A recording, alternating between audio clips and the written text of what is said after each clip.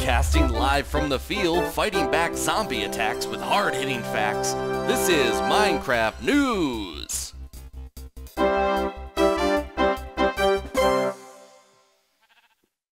Hello and welcome to Minecraft News, bringing you the most news for your views. I'm Adam, aka Swimming Bird, live from our floating news desk with so much news you might just forget how to even. The big story today is our first good look at the hostile new underwater mob. But before that, bunny rabbits. What can they do for you? Well, creator of the new rabbit mob, developer The Mog Miner, has been asking the same thing. In a Twitter conversation, it was suggested that bunnies might drop meat used for brewing the previously unimplemented high jump potion.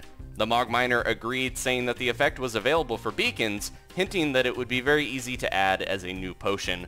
Following the theme of recent underwater updates, the good old sponge block seems to be making its way into survival at long last, sporting new textures and a new ability to absorb surrounding water blocks, giving it a water-soaked look seen in this GIF posted by developer Jeb.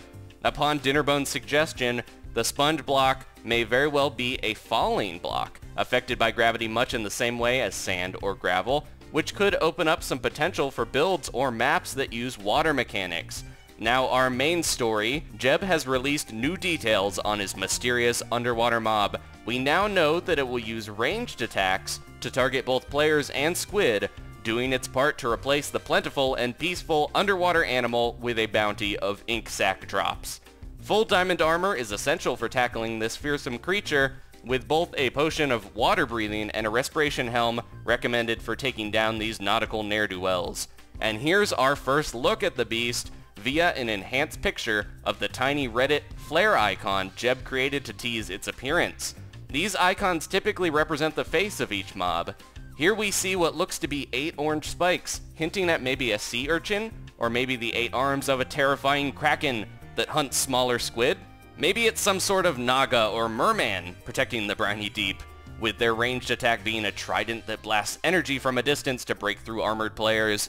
The single eye suggests that it could be an ocean-dwelling Cyclops, as in Homer's Odyssey, the Cyclops Polyphemus was the son of Poseidon, god of the sea and protector of all waters. Regardless, players were quoted as saying, this new mob is set to be, quote, totally rad. One thing is for sure though, it's definitely not a Barracuda. This was ruled out even before we got our first look. Its face seems curiously similar in color to the new Prismarine block, maybe hinting that it's made of the same material. On that subject, Jeb mentioned not calling Prismarine the popular name Neptune, as he wanted to avoid mythological references, possibly ruling out the Cyclops theory. We now know for sure that the underwater structures Jeb has been working on will be some sort of water dungeon for players to explore, meaning the new mob is likely a protector of these places and might only spawn in or around the new blocks. Speaking of which, Jeb confirmed that the other new light source block is called a sea lantern, lending to the theory that the shimmer of Prismarine will be used to craft these new lanterns. Maybe they will shine brighter when underwater, otherwise they'd just be a glowstone variant with a different look, though we cannot rule that out at this time without further details. Either way, we now know much more about the exciting and long-awaited underwater content coming in the 1.8 update. As always, thank you guys for watching. Please leave a like if you enjoyed this broadcast, and I will see you next time for more Minecraft news.